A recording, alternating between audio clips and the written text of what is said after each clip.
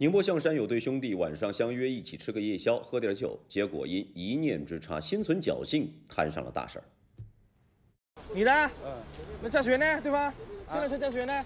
我不知道。你不知道？我刚睡醒，朋友打电话说车停在这被撞了。事发五月十八号凌晨零点三十分左右，象山交警接到事故报警后，立即赶往现场。但在现场，民警只发现被撞车辆车主睡眼惺忪，对事故是怎么发生的毫不知情。原来报警的是附近群众。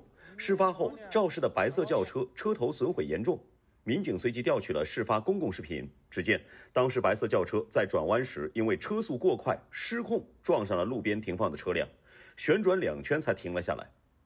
就在民警寻找肇事车司机的时候，一名自称是车主的男子从人群中走了出来，自称姓周。这车是你的是吧？是我的。来，这这驾驶证拿出来再说。民警立即对周某进行了呼气式酒精检测，结果为每百毫升一百六十五毫克。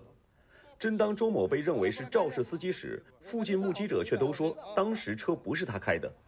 眼看蒙混不了，肇事司机终于现身了。来，我我我驾驶。来，刚才你车你开的是吧？我开车。确定？我确定。你酒也喝过啊？喝过酒。喝了酒，肇事司机不仅承认是自己开的车，还坦白了喝酒的事实。去去去去去去去去去去去去去去去好。对不起，您喝酒了。一百九十三。好。随后两人一起被带回交警队进行调查。